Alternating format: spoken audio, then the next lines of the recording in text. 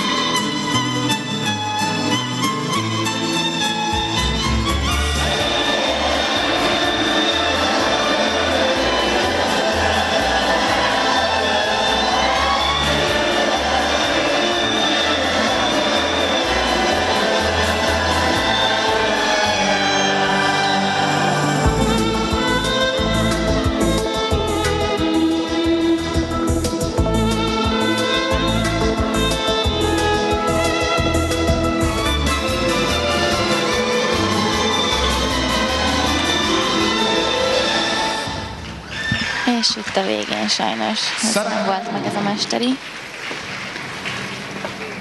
A szlovén lány egyébként a 39